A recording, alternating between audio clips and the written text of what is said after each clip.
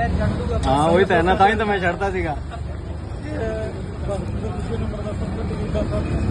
Practical ਜਦੋਂ ਤੁਸੀਂ ਜ਼ਹਿਰ ਹੁੰਦਾ ਇਹਦੇ ਵਿੱਚ।